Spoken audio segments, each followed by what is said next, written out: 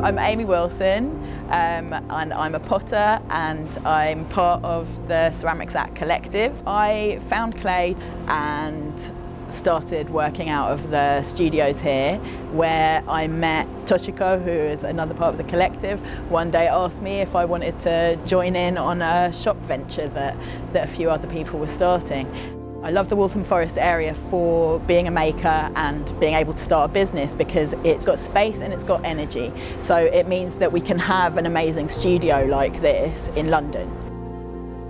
I think most people who make ceramics love every stage of it. They love the muddy beginning part, like getting your hands in mud. Watching clay transform on the wheel really fast is, is a very beautiful thing.